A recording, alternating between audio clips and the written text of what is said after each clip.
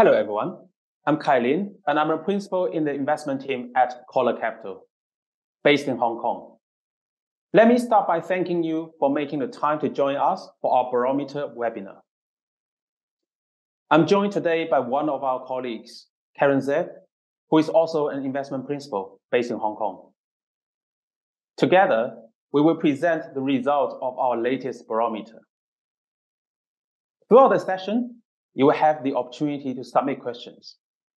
You can do this by using the Ask a Question button, and we can follow up with you with responses. Coller Capital's Global Private Equity Barometer is a unique snapshot of worldwide trends in private markets. It's a twice a year overview of the plans and opinions of institutional investors based in North America, Europe, and Asia Pacific. This 38th edition of the barometer captured the views of 110 private equity investors from around the world. They were surveyed over a period between the 13th of February and 31st of March 2023. Its findings are globally representative of the LP population by location, type of organization, total AUM, and length of private equity investing experience. The results show that despite uncertain times, investors are positive on the current vintages of private equity and are being selective on the strategies and sectors they invest in. First, a bit of background. The survey questions were answered by LPs in uncertain times, with inflations at levels not seen in recent decades, leading to a cost of living crisis. To combat inflation, central banks are increasing interest rates. In addition, world leaders continue to face significant challenges in their domestic agendas, and tensions between the world's major powers remain high, with severe economic difficulties apparent in several countries. GPs are struggling with difficult exit markets, with an impact to LPs' liquidity levels as LPs assess the risk and opportunities of the current environment, reshaping investment approaches and portfolios will be a priority for many of them. With that background in mind, let's turn to the findings, starting with the current private equity vintage years. Despite a difficult macro environment, the majority of LPs are positive on the outlook for the current private equity vintage years, 2023 and 2024. Three-fifths of LPs believe that 2023 will be a strong vintage year for North American private equity. More LPs are positive on the outlook for 2024, with more than 70% saying it will be a strong year and almost no LPs expecting it to be weaker half of LPs expect a stronger outcome for European PE in 2023, with more LPs being positive on the outlook for 2024. The results aren't surprising, given history points to transactions made during a downturn or a recession tend to outperform over time. There's a slightly different picture for Asian private equity, where less than half of the LPs believe 2024 will be a stronger vintage year. The region hasn't suffered the same issues with high inflation and interest rates seen in Europe and North America, although Asia was slower to recover from the pandemic. A higher number of Asia Pacific LPs are taking a positive view on their own region, with 70% of respondents expecting a stronger vintage in 2024. In their sector allocations, LPs are showing a preference for less cyclical sectors, with 87% of LPs saying that healthcare and pharmaceuticals are attractive sectors for private equity investments over the next two years. Three quarters of LPs say IT and business services look attractive, compared to just one fifth of LPs that think the consumer sector is an attractive opportunity for private equity investment.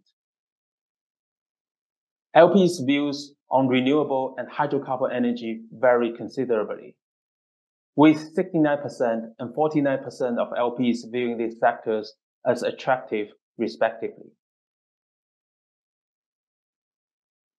We also asked the LPs for their views on strategies, and there has been a big shift since we last asked the question five years ago, with large and mega buyouts falling out of favor. Over four-fifths of LPs say they expect to see good investment opportunities for GPs in mid-markets, lower mid-market buyouts, and special situation funds in the next two years.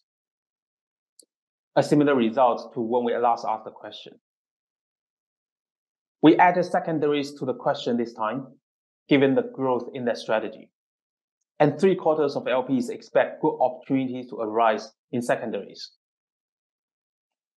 Significantly fewer LPs see attractive opportunities for large and mega buyouts.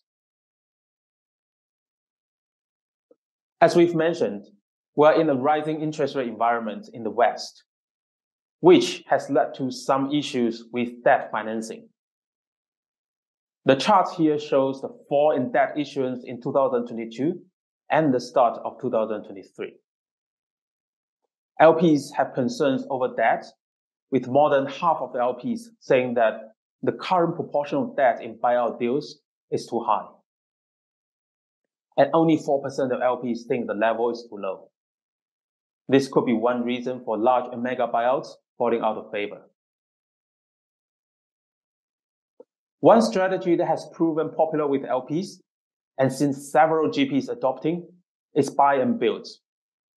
This chart shows the proportion of add-on as share of the buyout count rising over the years.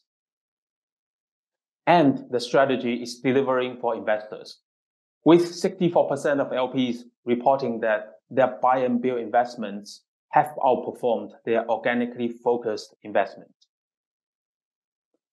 Hardly any LPs reported that their buy and build investments had underperformed their organic growth investments. And here's where investors think private equity deals will come from in terms of sellers.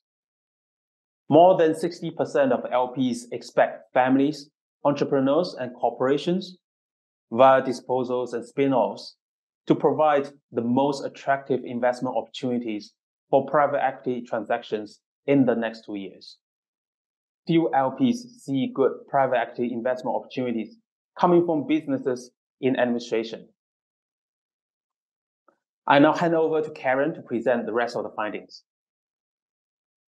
Thank you, Kai, and hello, everyone.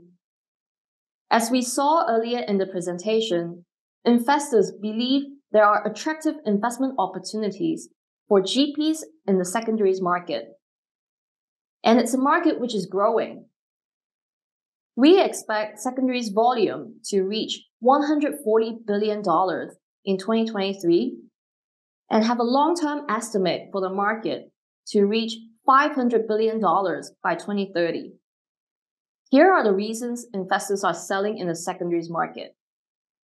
Most LPs will use the secondaries market to rebalance their private equity portfolios and also to increase liquidity. Since we last asked LPs for their reasons to sell in the winter 2020 to 2021 barometer, far fewer LPs are using the secondary market to lock in returns or refocus their portfolios on the best performing managers. Next, we turn to LPs' plans for their alternative target allocations. At the end of last year, in the winter barometer, we reported that fewer LPs were planning to increase their target allocations to alternatives and private equity than previously, mainly due to denominator effect. Six months on, and the summer barometer reports that things seem to have stabilized for LPs. LPs' plans for private equity are holding steady, with over a quarter of LPs planning to increase their allocations. Over two-fifths of LPs plan to increase their target allocations to private credit and infrastructure over the next 12 months. A slight increase from the winter 2022 to 23 barometer, showing the popularity of these asset classes. The private credit market has grown rapidly over the years. According to Preqin, private credit had assets under management of $1.5 trillion held in fund structures alone in 2022. And the next couple of years is expected to see further growth, with the private credit market set to reach an AUM of nearly $2 trillion in 2024. With this in mind, we asked LPs what their views on the long-term outlook for private credit. 64% of LPs expect the shape of private debt markets to change over the next three to five years, with a greater concentration of capital within larger GPs, following how the private equity market developed in its earlier years. The remainder of LPs expect a greater dispersion of capital amongst a larger number of GPs. We also asked LPs about their long-term plans for their private equity managers and compare the answers to when we last asked the question five years ago. The number of LPs expecting to increase the size of their PE commitment to individual GPs has halved since the winter 2017 to 18 barometer. One quarter of LPs expect to decrease their average commitment size. 29% of LPs expect to increase the number of GPs they are invested with over the next three years. And the same number of LPs expect to decrease their portfolio GPs. This is a slight change in balance since last reported in the winter 2017 to 18 barometer. Despite the mixed results on PE commitments and the numbers of managers, investors are finding space for new managers in their portfolios. 80% of LPs expect to make their first commitment to a new private equity manager in the next one to two years. And over half of LPs expect to do the same to new managers in private credit and venture capital. We also focus on which aspects of the fund investment process LPs find challenging. 62% of LPs said the negotiation of terms was a challenge for their institution during the process of investing in a GP's fund, suggesting that the balance of power between LPs and GPs has not shifted much. Around one third of LPs found manager assessment and identification a challenge. And only a fifth of LPs were concerned about fund access. There are a couple of findings in the barometer that point to investors becoming more active. The first being their activity around due diligence. More European LPs have increased their levels of due diligence compared to global peers over the last two years. 72% of European LPs report they have increased the level of due diligence they undertake on potential fund investments compared to two years ago whereas less than half of North American LPs have increased their level of due diligence on new investments. However, their views are split on the importance of incentives when committing to a first close. Just over half of LPs think the provision of incentives, such as an early bird discount, are important to their institution when making the decision to commit to a fund's first close, and 44% of LPs say incentives are not important, possibly due to them not having the cash currently to benefit from such discounts. One sign of LPs becoming more active is their willingness to travel. 80% of LPs expect their due diligence related travel to return to pre-COVID levels. And two thirds of LPs expect to travel more in the next 12 months for conferences and AGMs. By contrast, only half of LPs expect to travel more frequently to their own office.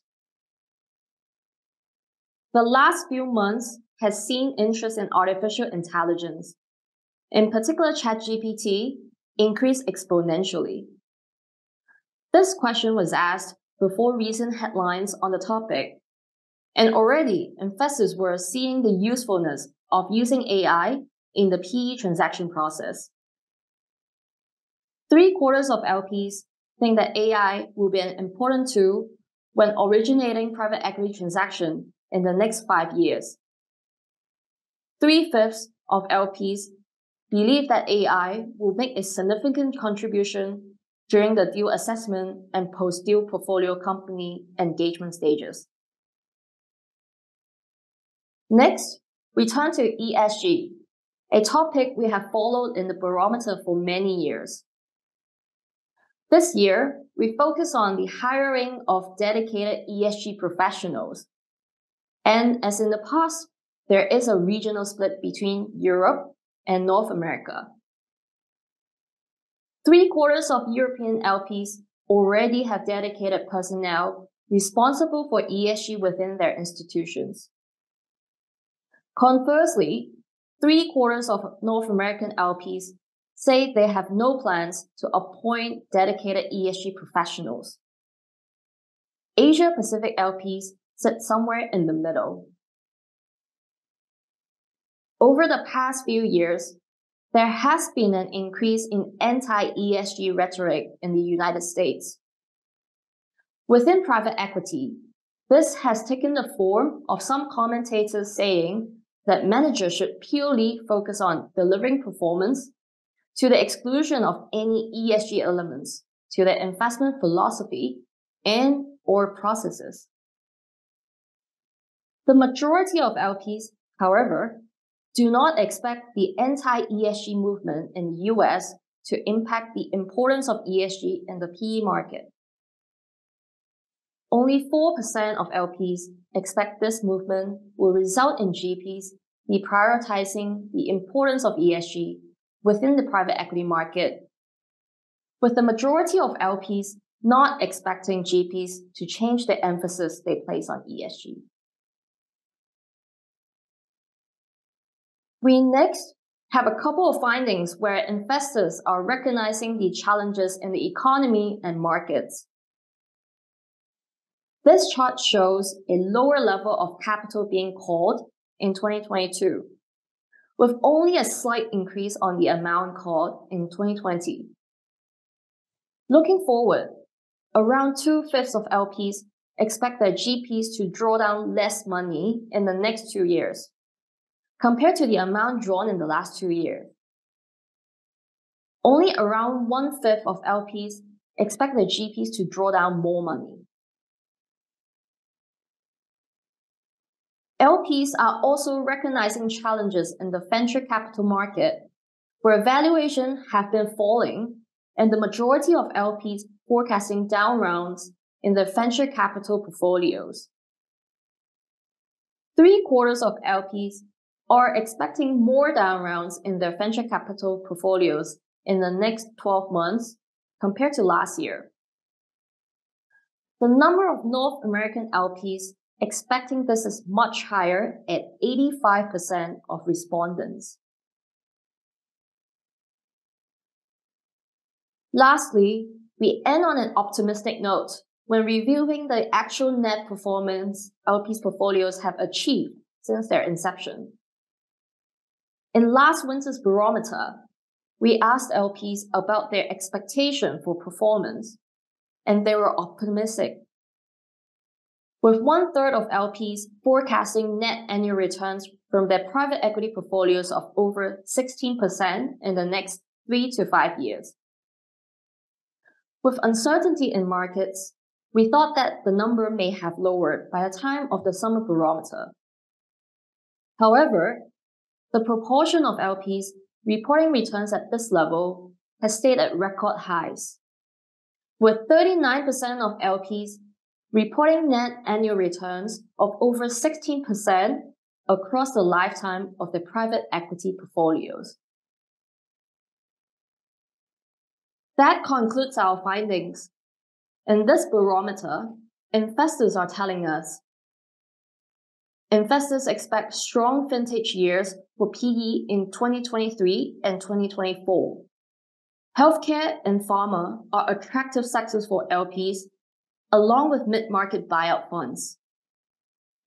LPs see a role for AI in originating private equity transactions. And the proportion of LPs with net annual returns of over 16% across their PE portfolio stay at record levels. The Barometer is a publication of the Coller Research Institute. You can find more information about our reports on the Coller Capital website. There is also an option to subscribe to our research for future publications. Alternatively, reach out to any member of the Coller team and we will arrange to send you a copy. That concludes our presentation. For those of you that have submitted questions, we'll follow up shortly. Thank you very much for watching.